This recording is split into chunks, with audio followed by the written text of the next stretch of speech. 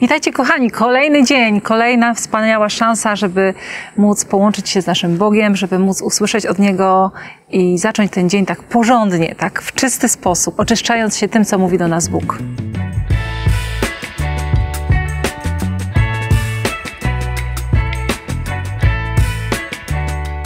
Dzisiaj chciałam Was zabrać do dziejów apostolskich. Dawno żeśmy tam nie byli, nie czytaliśmy wielu historii bardzo ciekawych, które tam są. Zazwyczaj skupiam się na takim jednym wersecie, który jest kwintesencją. Mam taką tendencję, lubię takie samo sedno, mam dosyć ścisły umysł, ale w historiach również kryją się prawdziwe skarby i dzisiaj do takiej historii chciałam Was zabrać. Tak więc przeczytamy sobie z 14 rozdziału od 8 do 10 wersetu. A w listrze był pewien człowiek o bezwładnych nogach, chromy już w łonie swojej matki i nigdy nie chodził. Słuchał on przemawiającego Pawła, który przyglądając mu się uważnie i widząc, że ma wiarę, aby zostać uzdrowionym, powiedział donośnym głosem: Stań prosto na nogach. A on zerwał się i zaczął chodzić. To jest jedna z tych historii, które chciałabym zobaczyć. Yy, chciałabym brać udział. Najlepiej w roli osoby, która została uzdrowiona, albo w roli osoby, która modli się o uzdrowienie, e, tak jak apostoł Paweł. To jest niezwykłe, jak szybko się dokonało uzdrowienie człowieka.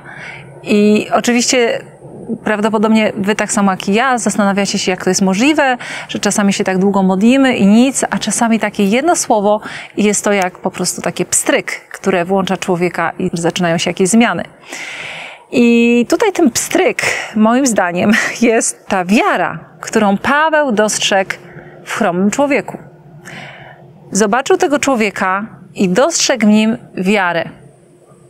I skoro zobaczył tą wiarę, to jak gdyby ją aktywował, jak gdyby ją użył do tego, żeby ten człowiek mógł zostać uzdrowiony. Jak gdyby ta wiara była już początkiem uzdrowienia. I skoro Paweł zobaczył tą wiarę, to powiedział: stań prosto na nogach.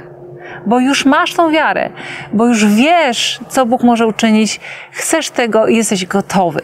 Tu by można było rozmawiać o różnych rodzajach wiary. Wiemy, że nawet sam diabeł wierzy, on również wierzy, że Bóg istnieje, doskonale wie, co jest prawdą, a jednak ją odrzuca. Tak więc diabeł również wierzy. Jest cała rzesza ludzi, którzy wierzą w Boga, ale równocześnie robią rzeczy, które nie potwierdzają tej wiary. Czyli teoretycznie wierzą, może nawet religijnie w jakiś sposób praktykują tą wiarę, praktykują religijność może bardziej swoją, ale ich życie zaprzecza istnieniu Boga. Tak jakby wcale nie uważali, że Bóg istnieje. Bo jeżeli kradną, oszukują innych ludzi, jeżeli zamykają swoje serce na to, co Bóg do nich mówi, do czego ich przekonuje, no to tak jakby mówili, Boga wcale nie ma. Nie liczę się z Bogiem. A wcale nie uważam, że Bóg istnieje. Wcale nie jestem przekonany o tym, że będę kiedyś osądzony. Boga się nie boję. Czyli tak jakby ten Bóg nie istniał, tak? Czyli teoretycznie wierzą w Boga, ale praktycznie nie. Bardzo mnie boli, kiedy spotykam się właśnie z tego rodzaju wiarą w cudzysłowiu. Ostatnio przyszedł do nas młody człowiek, który pomagał nam w ogrodzie i okazało się, że dwie czy trzy poprzednie prace, które wykonywał, e, jedną przez parę dni, drugą przez e, chyba ponad tydzień, pracował dla człowieka i ten człowiek mu nie zapłacił. Za każdym razem była jakaś inna wymówka. W jednym miejscu mu powiedziano, że pracował za wolno albo źle, w innym miejscu mu powiedziano, że e, no niestety, ale nie mają pieniędzy na wypłatę. I po prostu ja nie mogę uwierzyć w to, że ktoś może w ten sposób postępować z drugim człowiekiem w naszym chrześcijańskim kraju, gdzie wszyscy prawie są wierzący. I to jeszcze tutaj u nas na Kaszubach, gdzie wszyscy chodzą do kościoła, tak, i przyznają się do Boga, a z drugiej strony nie wierzą nie wierzą, że Bóg jest sędzią sprawiedliwym, który to wszystko widzi. Nie boją się Boga. Już nie mówię o relacji z Bogiem, która jest kolejnym etapem wiary. Wiara, która prowadzi e, nie tylko do tego, że ja wiem, że Bóg istnieje, boję się Go, liczę się z Nim, ale rozumiem, że On mnie kocha i że pragnie relacji ze mną. I, i przez wiarę w to wiarę w Boga, który jest e, istotą czującą, żyjącą, e, koło mnie stojącą, z którą mogę mieć interakcję. I ja przybliżam się do Niego, żeby właśnie ta interakcja zaszła. Nasłuchuję Jego głosu, zadaję Mu pytania, czekam na Jego odpowiedzi, czekam na Jego prowadzenie, czekam na Jego rady. Nie chcę postępować według swojego własnego rozumu, tylko biorę pod uwagę, co myśli Bóg, jak On się z tym czuje, co On uważa.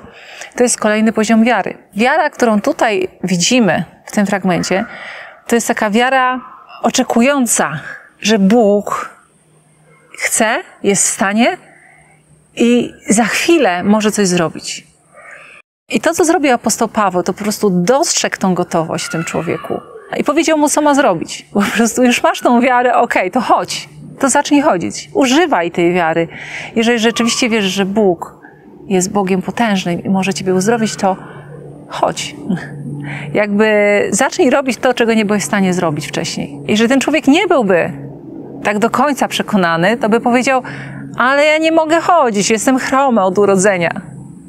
Ale ponieważ ten człowiek bardziej ufał temu Bogu, którego dopiero co poznaje, bo tutaj czytamy kontekst tej całej historii jest taki, że apostoł Paweł głosił Ewangelię w Listrze, czyli ten człowiek się przysłuchiwał Słowu Bożemu i, i wiara w nim wezbrała tego Boga, który jest, istnieje, jest potężny.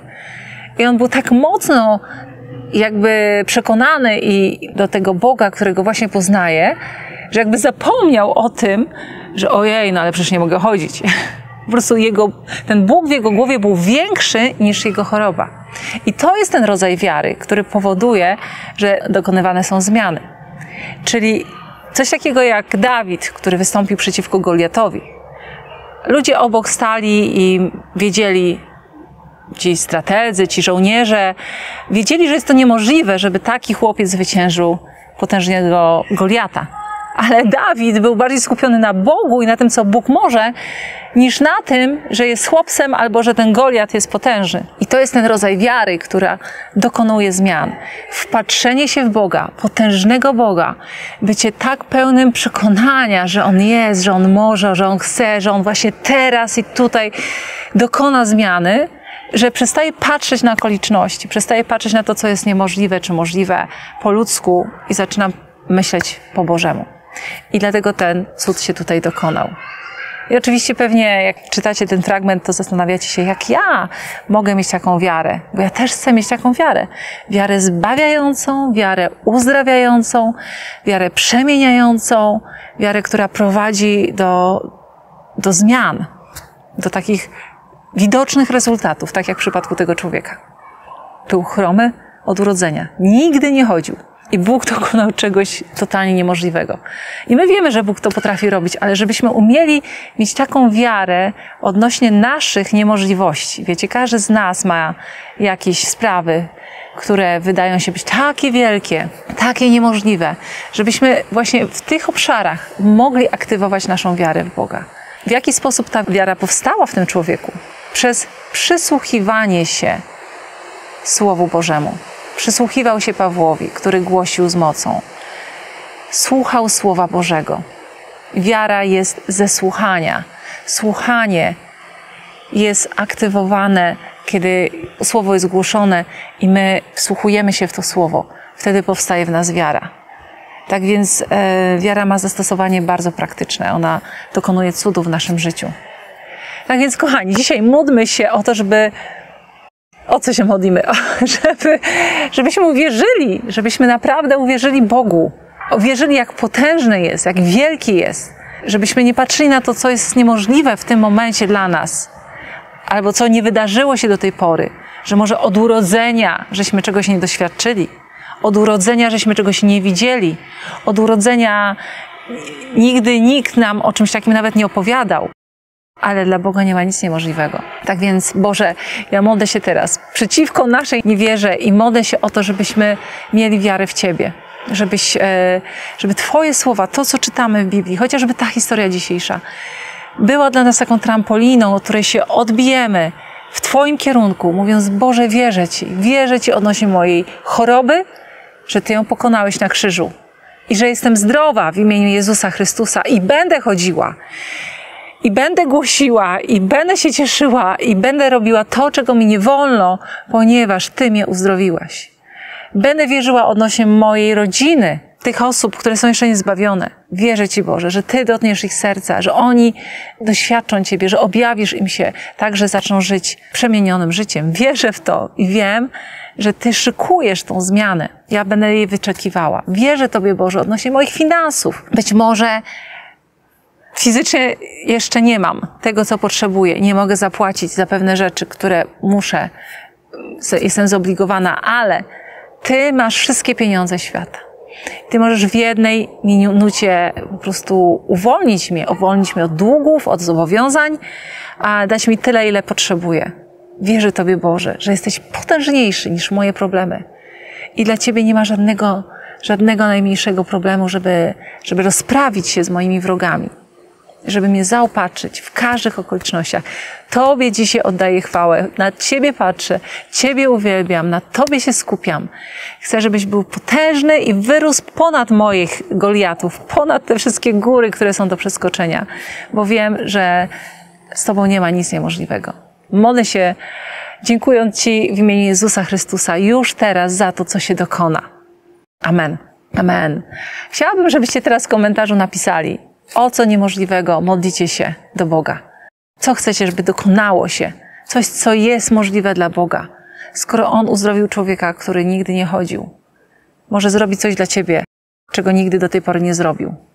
Tak więc napisz w komentarzu, niech to będzie deklaracja Twojej wiary, tego, jak ufasz Bogu, w jakich kwestiach się powierzyłeś Mu i gdzie chcesz zobaczyć cud. Modlę się również o Ciebie, o wiarę dla Ciebie i błogosławię Ciebie z całego serca. Do zobaczenia w kolejnym odcinku. Widzimy się we wtorki, czwartki i soboty. Być może niedługo już częściej, bo zamierzam znowu wypuścić kolejną serię dodatkowych odcinków z Panem Bogiem. Trzymajcie się. Pa, pa.